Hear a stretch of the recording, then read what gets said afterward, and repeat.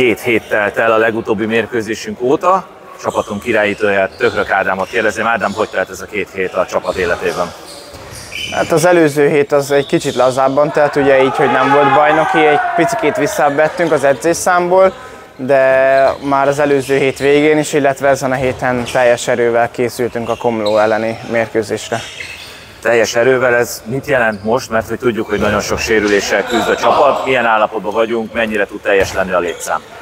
Sajnos a teljes nem lesz a létszám semmiképpen, hiszen ugye, ahogy mondtad, több sérültünk is van, de ennek ellenére majd akik ott lesznek a pályán, úgy gondolom, hogy azok megpróbálnak 100%-ot nyújtani, és hát így kell megoldanunk ezt a feladatot.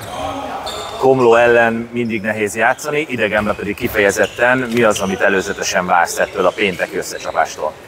Igen, hát ez nem titok, ugye, a Komlónak egy nagyon komoly hazai szurkoló tábora van, úgyhogy mindig nagyon jó hangulatot csinálnak a ottani mérkőzésükre. Természetesen azt várom, hogy most is ugyanez lesz, és emiatt valószínűleg egy nagyon nehéz mérkőzés lesz, hiszen tényleg nagyon jó hazai pályájuk van, de nem titkoltan győzni megyünk oda, és megpróbáljuk megszerezni a két pontot. Említetted a nehézségeket, de a csapat az elmúlt években már többször bizonyította, hogy Komlóról is tud pontot, pontokat szerezni. Hogy látod, mi lehet a kulcsa ennek a, a mostani mérkőzésnek?